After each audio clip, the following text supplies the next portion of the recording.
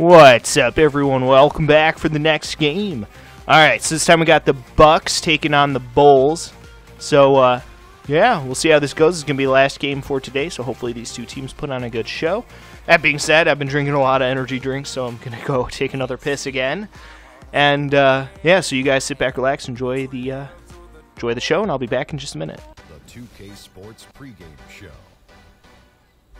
Hello, everybody, and welcome to the NBA on 2K Sports. Ernie Johnson here with my esteemed colleagues, Shaquille O'Neal and Kenny the Jet Smith. We're bringing you the Chicago Bulls out at United Center as they'll face off against the Milwaukee Bucks. Well, for Milwaukee, they're looking to come out strong and make their mark early. They have to look at this game as a great opportunity to do just that. Where we get to see the big man out of Georgetown tonight, 6'11 Greg Monroe, highly sought after in the offseason and free agency. Pretty good all around player, Shaq. Yeah, and he's very comfortable with the ball in his hands. Uh, he's great at creating his teammates for, from the elbow and looking for their own shots. Yeah, I like this guy. I do, man. I'm not joking. You think I'm joking? I really like this guy. No, He you're can not play, joking. He can play center. He can play forward. He's versatile. The lefty, which really is a little unorthodox, makes you kind of uh, a little bit backwards if you're a defender. His size is is uh, greatly improved free throw percentage. So I like this guy, Monroe. The Moose on the loose. And with the, the game just about ready to begin, time now to send it to Kevin Harlan for the call.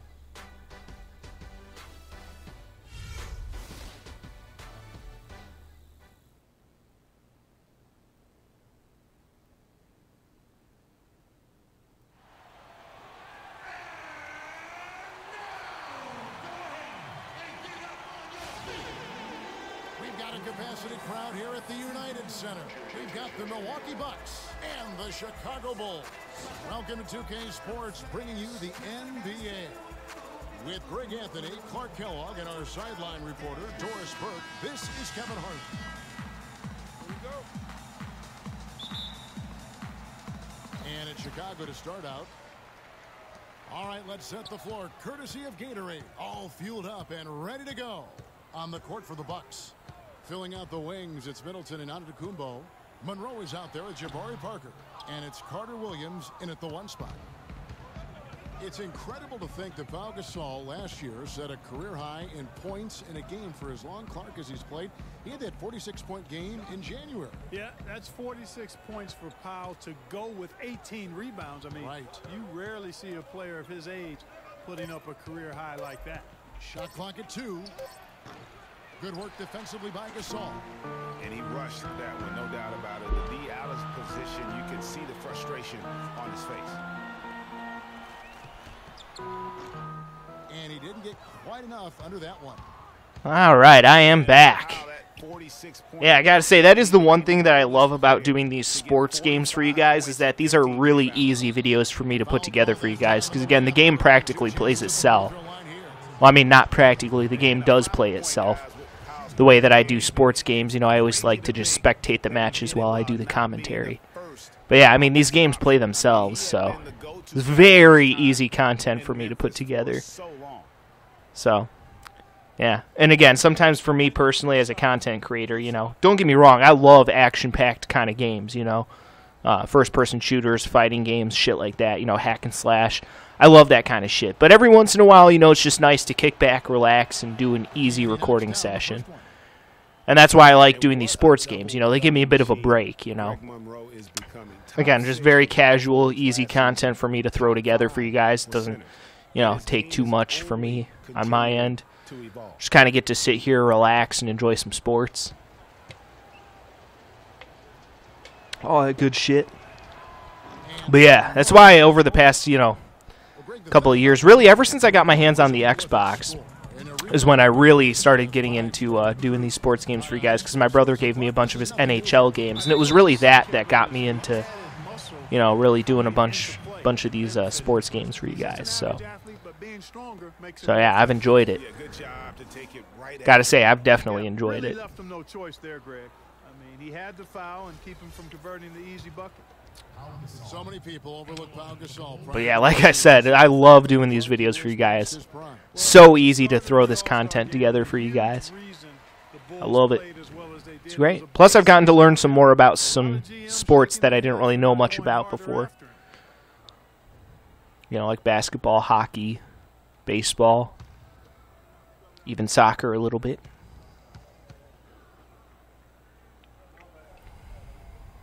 Gasol drops two. You know, and, and with Pau Gasol, it was weird to think that the Lakers were just so ready to let him go and move on. Now here's Carter Williams. Fades back, and that one's good. Parker. Now that's an old school move right there. A good one, too, the fadeaway. Just around a minute and a half. So yeah, the Bulls are of course my hometown team. You know, because I live in the Chicagoland area. Although the past several years, I mean, the Bulls really haven't been worth a damn. This last past year was the first year when when they've actually shown some level of competence, honestly. So, yeah. This is actually the first year because again, I work at a sports bar, and this is the first year like I've ever seen anyone actually request to have the Bulls game put on one of the TVs. So we have like a lot of TVs all throughout the fucking uh, uh, restaurant. You know, because again, we're a sports bar. Um, but yeah, this is like the first year that I can remember I've actually had people request to put the Bulls game on a TV because the Bulls have actually been somewhat decent this year. But yeah, we don't really get a whole lot of Bulls fans. We used to get a lot of Blackhawks fans back in the day, but that's kind of dwindled down a bit because the Blackhawks have been kind of sucking ass the Bucks on the break. ever since they won the Stanley Cup in 2015. Because that was the first year I started working at the restaurant was uh, 2015. It was the year that the Blackhawks won the Stanley Cup, and every other night we were swamped with Blackhawks fans because there was playoff hockey like every other night. To go. Where's the box out? But recently there haven't really been a whole lot of that. You know, you get your baseball fans here or there. You know, some Cubs fans, some Sox fans. Um, chance to win. Noah's Yeah, so you get that here or there. Well, the effort was there, but he just couldn't quite find Um, his way through traffic. Then you get all kinds of football fans in there. franchise that had so You know, Bears fans, Packers fans. There was Say those are the two most common, but you get you know all kinds of fans in there. Football's one of those weird kind of things where like you find like you know fans of every different team like all over the place. You know, we have With how often they're fucking Seahawks fans, you knew something Cowboys fans, you know, pretty much any team you can name. Dishes to Monroe. Great defense that time from Noah. Now, nice work. But yeah, I mean we have a majority, you know, Bears fans and Packers fans because the place I live at's somewhat close to the um, Wisconsin border. It's not super close. Like the border is like Doubt that is within his 40 minutes from here, I want to say. I live about like 40 minutes away from the Wisconsin border. So, I mean, we get a fair amount of Packer fans, but, Score by Derrick Rose. you know, we still get more Bears fans, I would say. Here's Monroe. Shot is off. Great defense that time from Noah. Nothing dropping for him. So I think, in the best interest of his team, he may need to think about not shooting right now. Noah the screen. Dunleavy kicks to Butler.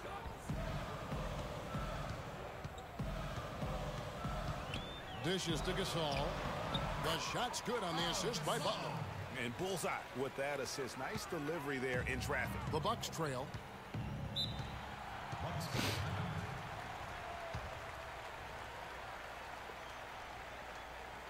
But yeah, I, I, was, I was also working there when the uh, when the Cubs won the um, uh, World Series too. That was a huge deal. We didn't get actually as busy for that as I was expecting. Well, I mean, we still got pretty busy for that.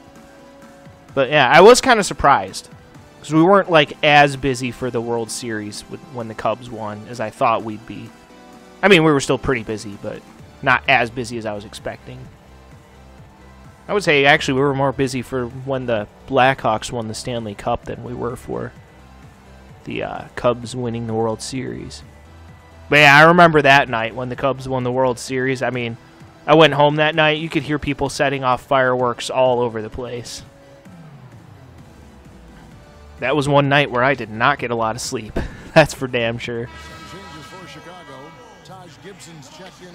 Then there was that one year when the Bears actually made it to the playoffs and they lost on the famous missed field goal kick by Parkey. Checked in for Monroe. that was one of the greatest moments ever. We were like packed, right? Just packed with Bears fans, right? And they're they're some of the most annoying fans to deal with are Bears fans.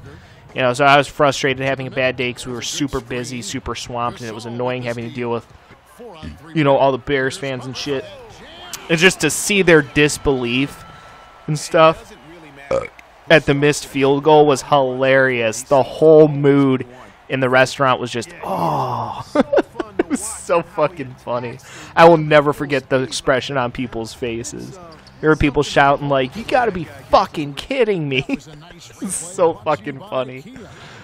Uh, I really do hate Bears fans. I'm gonna be honest. Bears fans are some of the drunkest, rudest motherfuckers out there. Fucking hate them. Not to mention they're just all stupid. They're all like, "Oh, we got uh, fucking what's his face now, Justin Fields. We're gonna win a Super Bowl, yeah." And it's like, yeah, okay. You just keep dreaming. The Bears fucking suck, and the Bears always will fucking suck. It's like the Detroit Lions, you know. I mean, at least, to be fair, at least the Bears do show some level of promise from time to time, and they do actually have some good players from time to time. You know, whereas, like, the Lions, even when they do have good players, they just still somehow fucking suck. you know, but, uh, generally speaking, the Bears fucking suck every year. At best, they're mediocre. You know, at best, they're okay. They show some signs of promise here or there, but, like, Bears fans are just, like, always in denial. They've outscored him 10 points to 2 during this run. And the crisp passing has opened things up for them offensively. 10 straight points off assists. That's very impressive, and it also makes the game easy and fun to watch. Here is Bayless. He hasn't scored yet. That I'm sure will change. Parker outside from about 16, and the jumper falls for him. Nice piece of work there. Get yourself a little space and pull the trigger. Brooks outside. Hinrich outside.